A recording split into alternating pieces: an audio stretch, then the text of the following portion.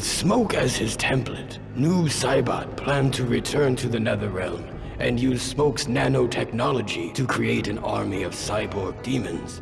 He was unaware that they were followed by someone Noob had not seen since before he became a Wraith. Smoke instantly recognized their visitor. He was an echo of their past. He was Sub-Zero, Noob Saibot's brother. Noob Saibot was surprised to see how much stronger his brother had become.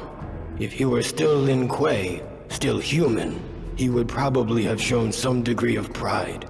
But as Raiden had revealed during the ordeal with Shinnok's amulet, his soul had been tainted when he died at the hand of Scorpion. Noob Saibot, the original Sub-Zero, had descended into the Netherrealm free from compassion. He ordered Smoke to assist him in slaying his brother, his first act as ruler of the Netherrealm.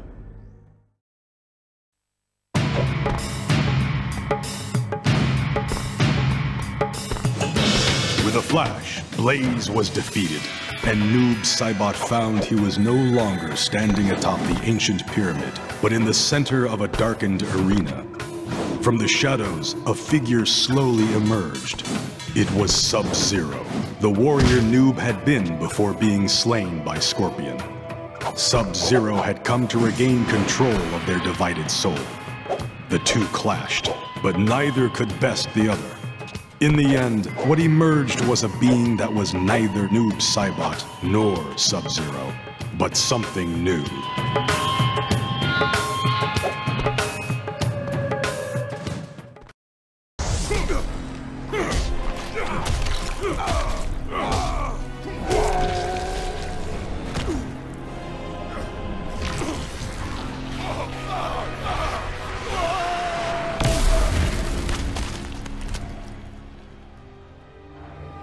Quan Chi should never have resurrected Noob Saibot, nor should he have enhanced his power to defeat Shao Kahn.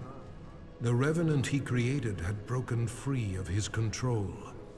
Noob had secretly formed an understanding with a cleric from the realm of chaos, and opened for him a portal to the Netherrealm.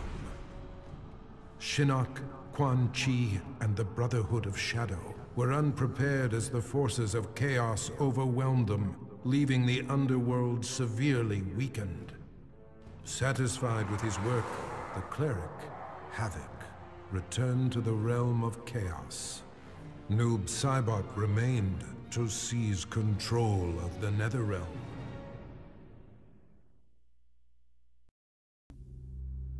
Kronika said I would lead the new era's deadliest clan. But she made such promises to many, she could never keep them all. So I betrayed her, before she could betray me. When Kronika Sands fused with my shadows, my ambitions grew. Why be a ruler of mortals, when I could rule destiny itself? Mortals resisted, but could not stop my blanketing history in cold, endless night as dark. All are shadows. I have had many names. Now I am become Death, Destroyer of Worlds.